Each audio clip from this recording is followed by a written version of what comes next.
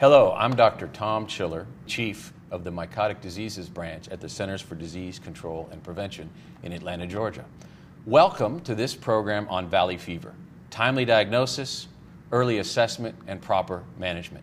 Today, I'm thrilled to have with me two experts on valley fever Dr. John Galgiani at the University of Arizona and director of the Center for Valley Fever for Excellence. Welcome, John. Thank you. And Dr. George Thompson in the Division of Infectious Diseases at the University of California, Davis. Welcome to you both, and thanks for joining this educational activity on Valley Great. Fever. Before we start the conversation, I'd like to highlight that we're going to use a tutorial as an outline for this program uh, that was developed at the Valley Fever Center for Excellence with the help of CDC. This is a great resource to help learn how to recognize and manage patients with valley fever or coccidioidomycosis. The tutorial in its expanded form is available at the website of the Valley Fever Center for Excellence. It uses a very useful acronym, which we're going to use throughout this program today COCCI, C O C C I. C, consider the diagnosis. O, order the right tests. C, check for risk factors. C, check for complications. And I, initiate management. So let's start with a quick review about valley fever. Valley fever, or coccidioidomycosis, which we often refer to as cocci, is caused by the fungi Coccidioides immitis and Coccidioides posadasii. Although around 10 to 20,000 cases are reported to us at the CDC each year, we know that many more infections occur in the United States with estimates in the hundreds of thousands. This map shows our current understanding of the geographic range of valley fever, but we know and we are identifying the fungus in the environment beyond these historic areas. And the potential geographic range is much larger.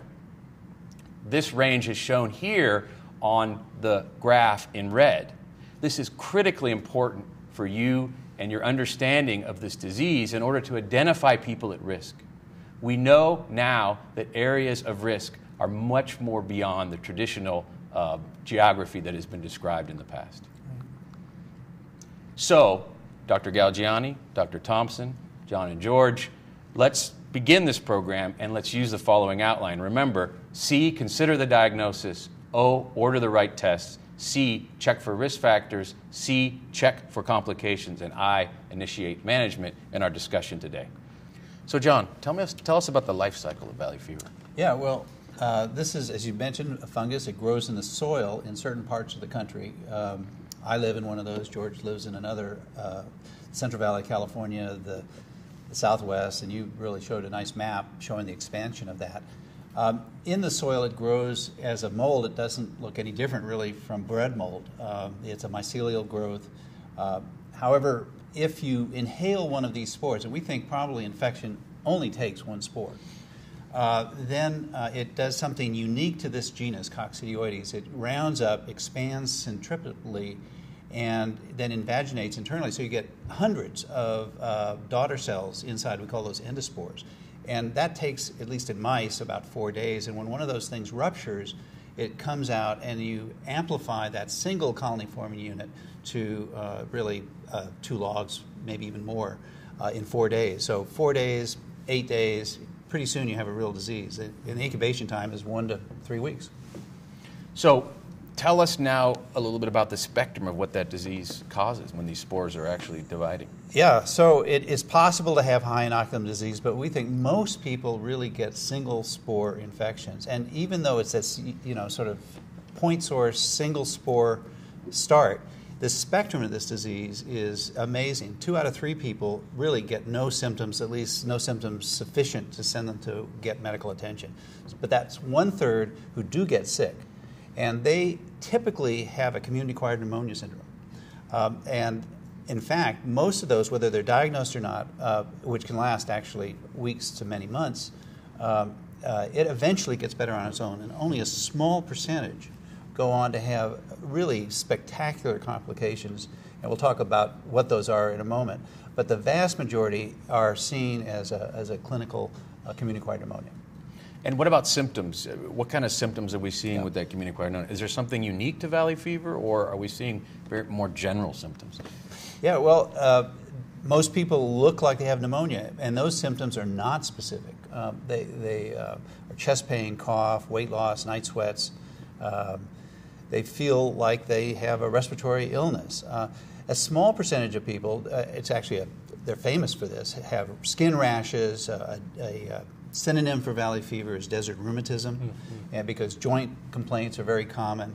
So those syndromes actually can have uh, predominance and not have much of the pulmonary disease. But those associations uh, are really uh, the main spectrum of this disease. So when we're considering the diagnosis, what are we thinking about here? Well, uh, you, you, just you know they come in looking like community-acquired pneumonia. It could be a, a, a, flu-like syndrome, is often what the textbooks say. But I, my impression is that they're really a lot sicker than that. They tend to be walking pneumonia is a very common disease. In fact, in, in Arizona, one out of three uh, uh, people who are told they have pneumonia have that etiology be uh, coccidioides. So obviously, the the geographic range, as we talked about, is very important. So obviously, travel history is something that we want to do when yeah. we're seeing these patients. Yeah, if you live there, it's a high likelihood. If the incubation is one to three weeks, uh, if you travel to see the Grand Canyon or go uh, to Central Bakersfield, uh, you go home. If you get a pneumonia in the next uh, month, your chances are just the same as in uh, California or Arizona. So, the C in cocci, consider the diagnosis. Remember, think about the geographic range patients with respiratory symptoms, they can be very general.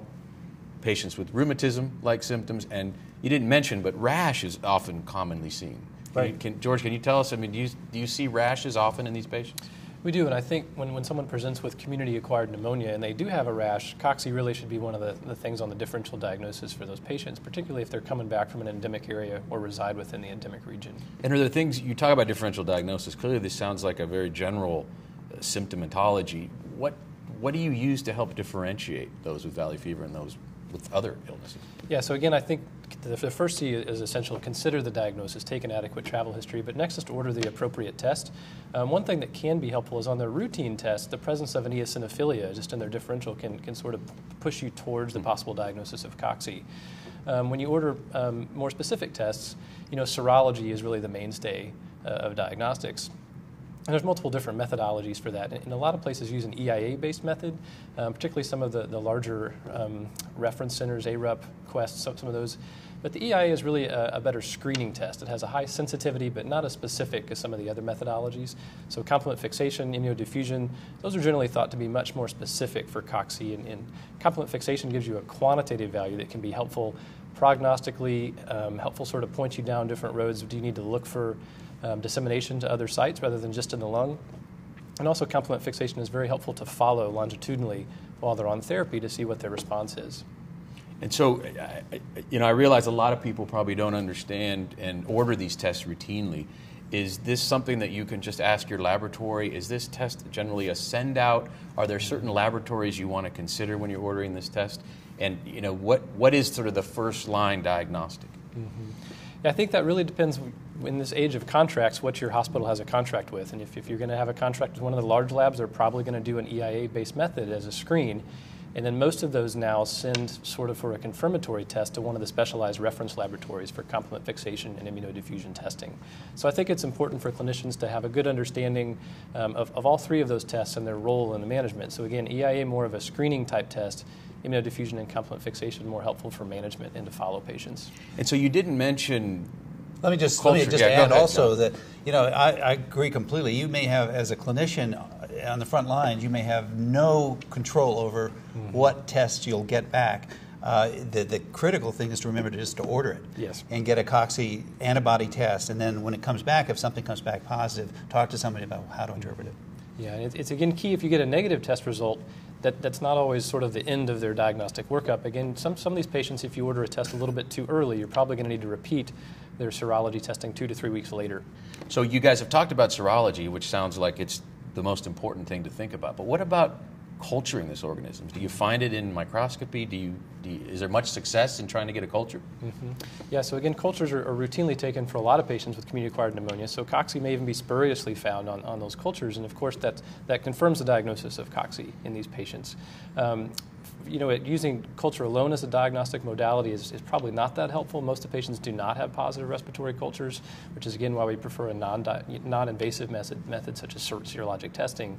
Um, the interesting thing about, about cultures or even biopsy of a suspicious lesion is that cocci has a very characteristic appearance on microscopy of those. You know, these, these spherules are very large, up to 80 microns in size.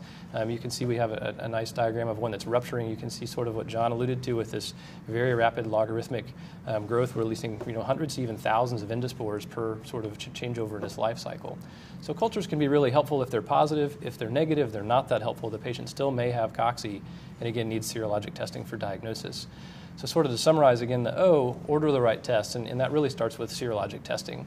Great. So, if laboratory tests establish a diagnostic, right, the next thing to, for us to think about is to see if the patient has certain risk factors. And John, tell us about risk factors that make right. cocci worse. Well, there are several, but the absolute overwhelmingly biggest one is immunosuppression uh, due to a lot of different things um, HIV, back, pre heart, uh, uh, immunosuppression from organ transplantation. Those are famous for risk factors where complications occur many score more frequently. I mean, it's just a really obvious risk factor. Uh, now, these days, anti TNF therapies, uh, on the news, you hear Absolutely. tell your doctor if you live in an area where fungal infections are common, they're talking about our area. uh, as well as some others, but certainly cocci would be one of those things on those differentials. So there's many different uh, rheumatologic uh, therapies and so forth. Any of those should be triggers for major high risk uh, for dissemination uh, and other complications. I, I also mentioned that diabetes is also done. Actually, it's not really a risk for disseminated disease. It, it's uh, pretty clear, though, it's uh, associated with increased complications in pulmonary disease. What about pregnancy? I, I, know pregnancy is a category that those of us who are treating valley fever worry about. Yeah, absolutely. I, I, if someone has an uncontrolled uh, cocci infection before pregnancy or acquires cocci during pregnancy, those patients don't generally do that well. They have a lot more complications of disease, um, a much more drawn out course, and, and in some cases even do have dissemination outside of the lung during pregnancy um, for a lot of reasons that are sort of physiologically interesting. Um, but really, one of the key points from this is to remember that, that triazole therapy, which is really the backbone of therapy for cocci are teratogenic, particularly in the first trimester. And there's some debate about if we can use those in the second and third trimester. Um, but, but triazole therapy during pregnancy is, is generally not recommended. And so, what about other risk factors uh, that are not maybe disease associated, as you guys? Yeah, well, uh, there's genetics here. Uh, we think that the reason some people get bad disease and some don't is because of genetics. Um, and in fact, it's pretty clear that men are much more likely to disseminate than women. And uh, there's a, a, lot of uh, uh, epidemiology suggesting that African Americans and Filipinos, especially, are more likely to have disseminated disease. But but the effect of those factors are not nearly as huge as the effect of immunosuppression, diabetes, and probably pregnancy. Great. So the third C, check for risk factors. Um, we're going to want to really think about immunosuppressive states, as John mentioned. Also, worry a little bit about diabetes. Pregnancy is a condition that we definitely need to take special account of. And you just mentioned that gender and race ethnicity might also play a role in, as you're thinking about these patients. So, even in the absence of risk factors um, that we've been mentioning, uh, there can still be dissemination and uh, pretty uh, severe disease involvement. So, uh, tell us, John, what do these sort of complications look like? Yeah, well, um, it's, it's, as it turns out, the complications of valley fever tend to occur in the first weeks to months after the infection. It's very different from tuberculosis, for example, where you famously have decades go by and then you have reactivation disease. And, and what you're really looking for is pretty easily screened by a good uh, history and uh, physical and a review of systems. You're looking for focal kinds of symptoms or signs. This disease, when it causes disease, when the bug is growing, it causes tissue destruction. And that, uh, there's a big recruitment of neutrophils, and you can see that. It, things are swollen, they hurt. Uh, so, for example, if somebody has an unexplained swollen knee, you'd want to think about that as a complication of the newly diagnosed valley fever. back pain, think about a vertebral lesion. Uh, headache, actually, headache occurs 20% of the time. Mm-hmm. Uh, but most of those people don't have meningitis, but you have to make a decision which of those people to tap. And so when you're, when you're, when you're doing a, a physical exam, are there some specific places you just mentioned a few, but are there some specific places where you where you focus when you're looking for that kind of focal lesions? Either of you?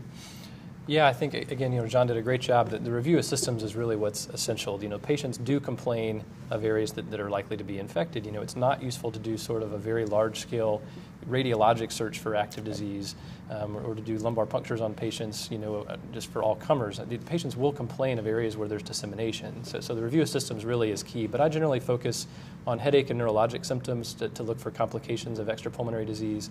Um, ask a lot of questions about skin or particularly lesions that won't heal. And then um, again, you know, desert rheumatism came up, and that can be a fairly benign course and part of the immunologic course of cocci, But it can also, um, for, for something like a swollen knee, represent a, a side of um, extrapulmonary coccidioidomycosis. So those are really key things to focus on. Yeah, maybe I could just say aches and pains are famous with this disease. Mm, absolutely. What they typically are are symmetrical, and def- uh, they come and go to different places. They do not cause tissue destruction. So if you see a, a one, one joint or one part of the bone that hurts, uh, and it stays there and slowly gets worse, in association with a newly diagnosed disease. Yep. That's kind of what you're looking for, is something to pay particular attention to.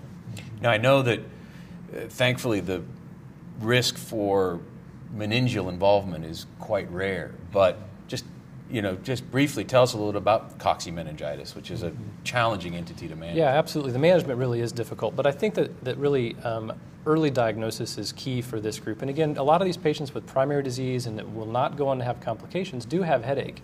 But it's the patients that have persistent headache for, week, for weeks or even months that, that really meningitis needs to be explored as a possible complication of disease. And, and again, for clinicians, it's important to remember cocci-meningitis is very different than pneumococcal or meningococcal meningitis when they come in very acutely ill, very sick. Cocci is a chronic meningitis, so, so often patients will go by with, with symptoms for several weeks or months that have really not been explored. Um, so it's important, again, a very good review of systems and, and to really explore those with persistent symptoms. So, uh, good to hear about some of these rare complications, but bringing it back a little bit to the lung, mm-hmm. where we initially get our disease. Tell, tell me about some of the pulmonary complications mm-hmm. we can see with cocci. Yeah, so again, community acquired pneumonia is by far the most common. Um, I think really probably the, the most easy to address, but really the complications of that, they can have pleural involvement, which can be difficult to manage, require the assistance of the thoracic surgeons. Um, patients with a high inoculum can come in with ARDS and end up intubated in the ICU. Um, other types of just really diffuse acute pneumonia um, can be difficult to manage. And then um, some of the more interesting um, aspects of cocci is, is, some of these patients with diabetes will go on to have cavitary disease, mm. really which needs to be followed you know, clinically and radiographically over time during therapy. Um, and then the last complication, really, that's important to document is to follow these um, radiologic manifestations to, to, really to resolution. And, and often the, the, area of pneumonia will resolve to a nodule. And if you follow those to resolution, that can really avoid an oncologic workup, you know, 20 years down the road if you tell these patients this nodule is from your recent cocci infection. And so uh, treatment is clearly different for the different entities. Are, are we talking about potentially long uh, durations of antifungal therapy in some of these patients? Yeah, again, I think it really depends, you know, how severe was their initial manifestation of disease. If patients come in with very mild symptoms, a lot of them don't need to be treated at all. When they come in with much more um, acute symptoms, a much larger larger burden um, radiographically or symptom-wise, we do treat, you know, generally all of those patients. And then the duration of therapy differs, and it really is very individualized. I generally treat most patients for at least three months. A lot of them get up to six months. Um, and then if they have a complication of disease, um, really you need to weigh the pros and cons of ever stopping therapy and have a long discussion with the patient about those things. So, maybe, maybe I could yeah, just ahead, say, we're focusing here on the most common forms of this disease, and, and most people fortunately don't get that. Mm-hmm. But when they do get that, um, that starts to become really subspecialty referrals, yeah. and, and those people, I, I think, uh, in a primary care setting, you definitely want to have either a pulmonary or infectious disease or some other consultant familiar with this disease to mm. hold your hand to, yeah. to get through these complications. So that fourth letter, fourth C, mm-hmm. C, check for complications. Clearly, you guys have both outlined that it's critically important to look for these complications. And I think, John, as you just mentioned, and George, I'm sure you would agree, enlisting the help of, a, of expert clinicians, uh, infectious disease docs, that could be pulmonary docs, is really important for taking care of these complicated patients. So we just talked about now sort of the more challenging cases, but uh, John, you already mentioned to us earlier that really most of these patients present with either a primary respiratory sort of syndrome or even a community acquired pneumonia. How are you going to manage right. the typical patient? I should say. Right. So if you know you showed statistics of 10 to 20,000 people being diagnosed a year, and it's probably two, three times that much if all the cases were actually diagnosed at the at the front lines. That a lot of those patients ought to, I think, stay in primary care. Uh, and so if they don't have any of those complications we talked about, if they don't have those risk factors, and if uh, at th- that point, I think um, it should be possible that primary care just take care of those patients because the first thing is to make a diagnosis, and that allows you to give prognosis to your patient, tell them what to expect, allay fears, dispel concerns sometimes of cancer, mm-hmm. uh, other problems. You know, the unknown is a big problem. Just giving a diagnosis to somebody is m- huge. It also allows you to stop all sorts of further diagnostic tests. You've got an answer and stop all of those therapies you might have been using, like antibiotics for bacterial infections, uh, which really are going to not help, help somebody who has a fungal infection. So I, I think making a diagnosis, whether or not you treat the patient, uh, is huge for the patient and uh, probably saves a lot of money uh, because of all the unnecessary things you can stop doing. And so the sooner you make that diagnosis, I think, the better. Yeah. And so when you're just as general management of these patients, what are what are some of the things that you're doing, uh, or that you would recommend a primary care doctor do while they're managing someone? Yeah, well, follow up is probably critical. Um, George mentioned that already. Um, that it, it, this is a pneumonia that you want to see get better, and um, I follow with an X-ray, not terribly frequently. CAT scans are probably not needed once the diagnosis is made, unless you start having new complications uh, and things you need that kind of detail. So PA and lateral once in a while, maybe three or four weeks after the diagnosis, again three or four months later, and as George says, one I can't I, I recommend about a year later just to see if there's a residual nodule, mm-hmm. which you know what it is now and needs no further workup. Follow up with serologies the, George mentioned they tend to go high when people are complicated. Uh, so watching them become normal again is really reassuring, especially really the, the only test to do is the complement fixation titer, the one the 1 to 4, 1 to 8 test. Um, but it's actually not the diagnosis. It's not the disease. It's, it's, a, it's a marker. So sometimes patients, and George might speak to this, sometimes the, the serology goes up and the patient is getting better, and the patient's the rule you know, follow the patient, not so much the serology. Do You have any thoughts about that? Yeah, absolutely. I mean, I think again, you know, just like John said, the patient's symptoms are critical for what's to follow. If their titer is still one to eight, but the patient has no symptoms, you know, we can sort of ignore the serologic titer at that time. But again, you want to see it come down over time, and it is useful to, to sort of follow these patients longitudinally with that. But again, patient symptoms are key to follow long term. And so, uh, in talking about serology for a moment, we know this is not a perfect test. We know that there, it's hard to find perfect tests out there.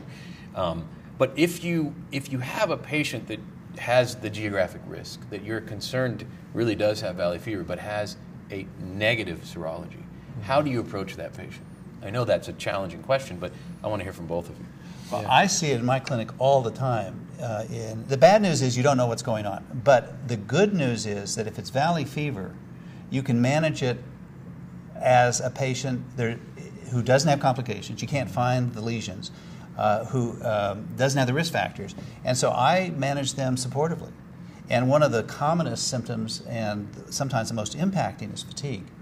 And I treat those with physical therapy and reconditioning because the fatigue will lead to deconditioning. And you can do something about that. I can't do anything about the disease fatigue. Mm-hmm. But once that's gone away, the person's deconditioned. They may never have been deconditioned before in their life. They don't know what it is. Mm-hmm. And physical therapy in that setting really helps. Yeah. I think that's really a key consideration. Again, symptom focused uh, for those patients, and, and, you know generally these patients are, are not that ill when they first come into the clinic to see, and you do have some time to wait on you know serologic testing or even to repeat serologic testing in a few weeks.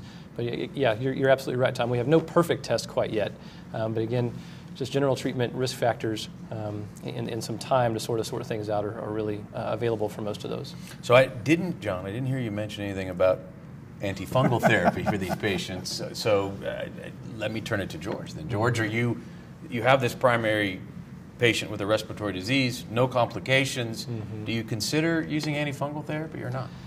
Um, yeah, so I think again it really depends on the degree of symptoms. If they have a lot of symptoms with fatigue, um, still have fevers, weight loss, and they do have a confirmed at least serologic test for, for cocci, I generally do treat those patients. I don't know that I improve their symptoms more rapidly than if they didn't get treated, but fluconazole is generally a fairly affordable medication. Um, it's generally devoid of side effects for most patients. Um, so, so in the absence of a clinical trial, which we'll talk about later, um, I, I generally do treat patients if they have enough symptoms to warrant treatment. Well, now is later. Tell us about this clinical yeah. trial you did. Yes, we've been very fortunate, I think, really with partnership with the CDC, a lot of experts around the country. Um, we've been able to design, you know, a prospective placebo-controlled trial for patients that come in with community-acquired pneumonia that's actually from cocci.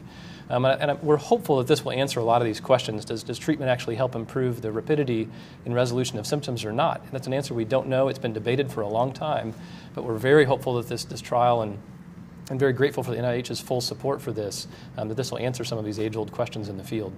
So, then to summarize our final and fifth letter, mm-hmm. I, initiate management, mm-hmm. what would you say the summary of this discussion has been? Yeah, I think that's a really individualized approach and depends where, where you're used to practicing. And well, so. we, we, I think you've heard, I think we'd pretty much agree. You, you want to make a diagnosis, you support the patient, um, you, you, give them prognosis, um, you stop using antibiotics. Mm-hmm uh, you make sure no new complications occur over the next year or two. Um, there's disagreement because there's no data on whether or not to treat patients. Uh, so the spectrum is all over the map. Mm-hmm. Um, but I, I, I, you can make a case that if you think somebody needs treatment, that that should be a referral patient. Mm-hmm. But others would say it should be just part of primary care. Well, I certainly look forward to the data coming out mm-hmm. from the NIH yeah. trial. Thanks for addressing these challenging subjects of treating primary disease. Um, it's incredibly important to report this disease because it gives us at CDC a better idea about how much disease is occurring. Coccidioidomycosis, or cocci, is a reportable condition in many states. And so please contact your local or state public health department if you have a case to report them so we can learn more about the true burden of this disease. So I think we had a nice discussion today uh, about valley fever, um, it represents a substantial public health problem. I think because the clinical nature of this disease is one that looks like many other diseases, it's going to be important for you, the clinician, to think about this disease and be aware that it is probably occurring in patients that either are from areas where valley fever occurs or have traveled to a region. So remember, early diagnosis, accurate diagnosis is essential for understanding this disease and for managing this disease.